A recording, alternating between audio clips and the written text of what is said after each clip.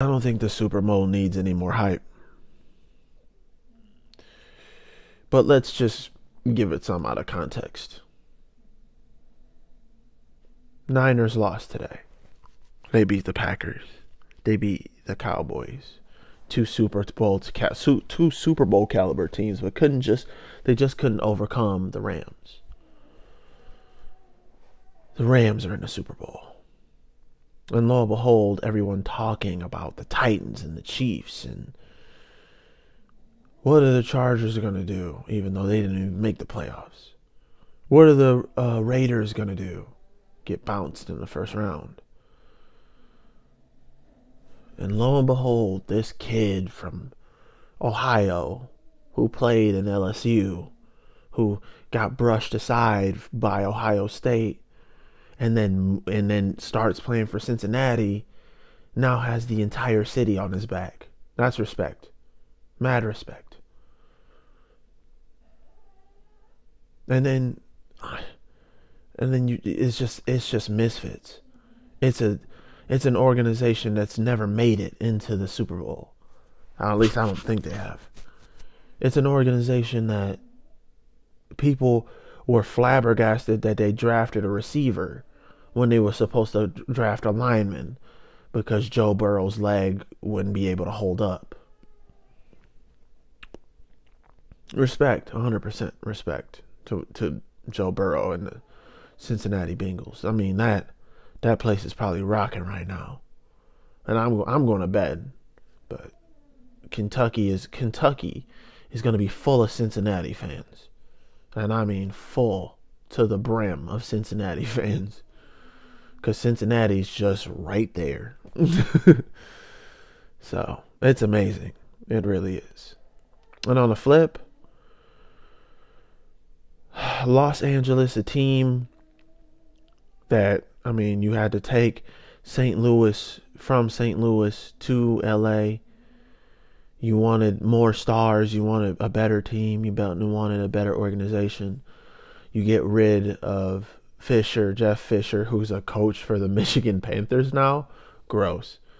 You get rid of Jeff Fisher. You see Jared Goff. You think he's the he's he's the bee's knees when you put Sean McVay with him. He gets you to a Super Bowl once and he doesn't again. He keeps getting injured and throwing interceptions and ruining the game. So you trade for Matthew Stafford, a former Lions quarterback who, well, within his own right, had the talent but just never had the team. And you pair him with Aaron Donald, one of the best linemen in the league. But he's just never been an MVP candidate. You pair him with Cooper Kupp, a wide receiver who has plenty of talent and but nothing to show for it. Odell Beckham Jr., who was discarded by Cleveland, and a young quarterback by the name of Baker Mayfield, who made people believe that he was the problem. Von Miller, the Denver Broncos, who just wanted to bring Denver another championship but really didn't have the roster to do it with. And people blamed his age because he got older and older and older. Knowing for a fact that his age wasn't the problem. It was the simple fact that the Broncos just don't have a quarterback. And this is where we are now. It's an underdog in the Cincinnati Bengals versus a super team in the LA Rams.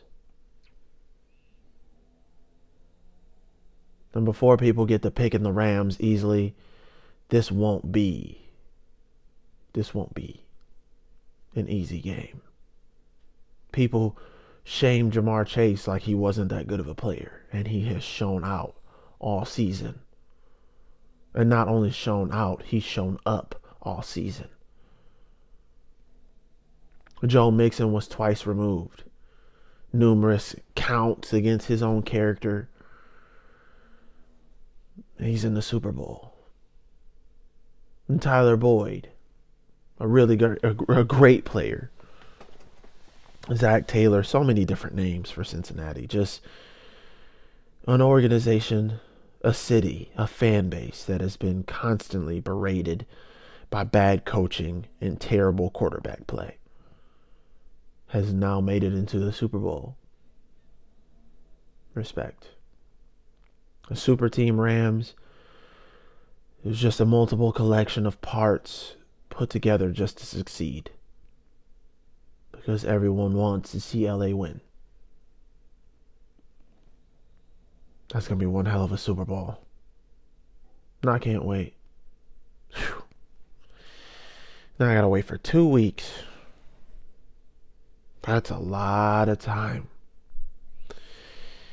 to see who's going to win that title. I'm excited, and everyone else should be too. Because it could go either way. Sports logic.